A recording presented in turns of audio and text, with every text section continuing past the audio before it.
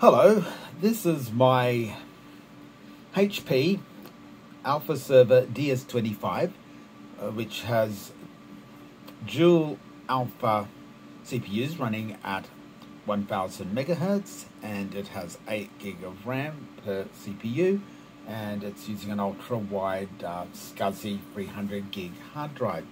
And I have a 3D Labs uh, PCI graphic card installed. And it's running OpenVMS 7.3-1 and we have soft Windows or soft PC installed which is a DOS Windows emulator that runs in RAW mode. So it runs an AT uh, class type emulation. So I'm just going to uh, start up SoftWin and we're going to do some gaming on some inappropriate hardware.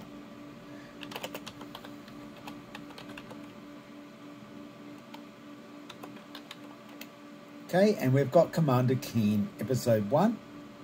So we're just going to run the installer.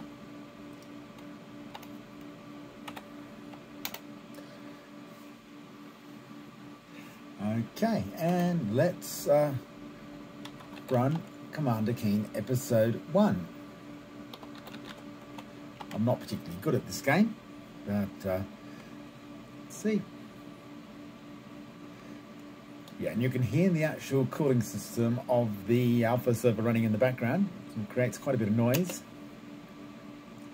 And here we go. Let's start a new game. Okay. Oh, okay at that, isn't that nice? Oh ho, let's see, jump. Oh, jump. Okay. Oops. Okay, isn't this marvelous? So this is a alpha station which is uh, running a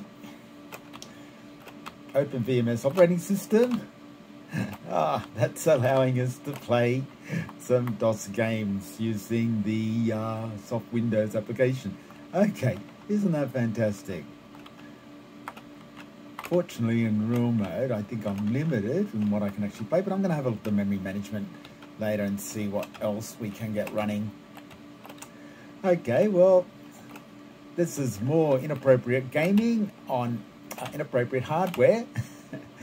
okay, it's an environment that really shouldn't be, but is, and it's a lot of fun.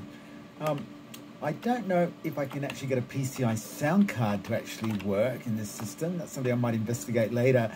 Okay, um, I hope you enjoyed this, and thanks for watching, and we'll catch you next time.